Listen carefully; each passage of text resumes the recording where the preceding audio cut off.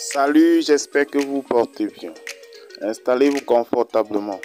Nous allons faire un petit tour du côté de la Côte d'Ivoire où, malgré cette pandémie à Covid-19 qui déstabilise le monde entier, la situation sociopolitique monte d'un cran. C'est d'ailleurs dans cette alternative que le ministre de l'Enseignement supérieur et de la Recherche scientifique de Côte d'Ivoire est convoqué pour donner son verdict final par rapport à sa position actuelle. Abonne-toi à notre chaîne pour ne plus rater nos prochaines vidéos. On commence. Eh bien les amis, comme nous vous l'avons annoncé au début de cette vidéo, depuis le 12 mars dernier, où le Premier ministre Amadou Gon Koulibaly a été désigné comme candidat à l'élection présidentielle pour le compte du RHDP, le ministre de l'Enseignement supérieur et plusieurs cadres du parti se manifestent. Cette manifestation, comme nous l'avons si bien dit, a poussé plusieurs à déposer les éponges. Nous avons d'ailleurs le ministre des Relations extérieures qui a décidé de plaquer la porte au gouvernement. Cette fois-ci, le ministre Mabri Tokese est au cœur de vastes polémiques.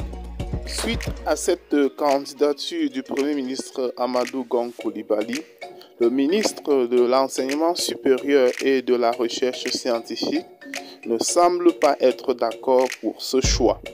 C'est la raison pour laquelle lors de ces différentes tournées, il essaye de convaincre tant bien que mal tout ce qui le rapproche du fait que le président de la République, son Excellence Alassane Draman Ouattara, aurait commis une erreur, celle de nommer le Premier ministre Amadou Gon Koulibaly comme candidat à cette présidentielle. C'est dans cette logique que le président de la République, passant par les cadres de son parti, ont convoqué le numéro 2 du parti, c'est-à-dire le ministre de l'Enseignement supérieur, à une importante réunion au siège du RHDP pour le jeudi 16 avril où ce dernier va donner son verdict final, s'il est encore dans le navire du pouvoir ou pas, car ses actions amènent à s'inquiéter. Ce jour semble vraiment houleux car nous connaissons le ministre de l'Enseignement supérieur et de la Recherche scientifique par son franc-parler.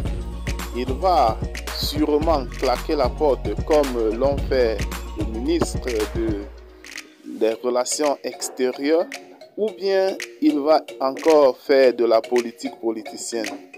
Les jours à venir nous en dirons plus.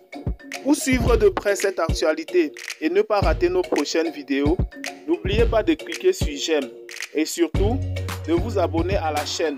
Et si vous l'avez trouvée intéressante, n'oubliez pas de la partager avec vos amis. Bye et à très bientôt pour de nouvelles vidéos.